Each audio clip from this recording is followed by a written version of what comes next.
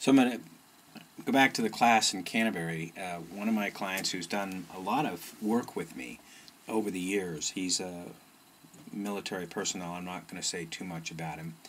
Uh, in the British services, uh, came to me when his roommate, who had been a client of mine, they got talking about different things, and and this man came to my first class. I said, you know, what do you want? And he said, well, he said the the states that my roommate talked about. He said, I've been to.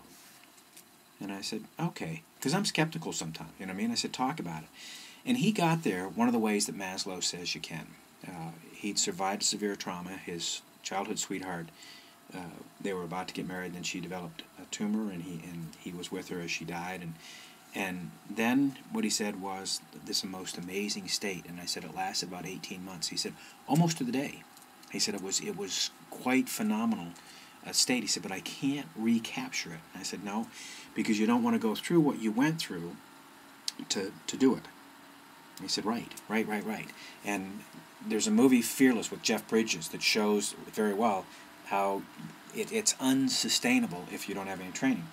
At any rate, this gentleman has been doing classes with me over the years, and he's been through in some situations that I never ever want to be in, uh, in an active war zone and things like that. At one point, I said to him, I said, I don't know if we can hold you together. I said, You've been through some really traumatic stuff, and I don't know whether this will keep working. But this is the first class, and he came and he said, This is the first class that I felt this good. Now, his previous class was we went after, I, I started talking about his need to detoxify because his system was full of toxins. I could see it. And so he did a detoxification, had some uh, surgery that reduced uh, sleep apnea problems, so he's resting well. But he said, I feel great. He said, I, and I want to see how high I can go. I want to see where do I go from here in these classes. He said, "This is the first time I don't feel like I need it. I feel like I want your class." And I don't. He, I, I think it's double digits that he's done, just trying to keep himself together and keep a perspective in his life that he claims I give him. but there was a, a new participant. There were a couple of new participants, and I was asking Friday night.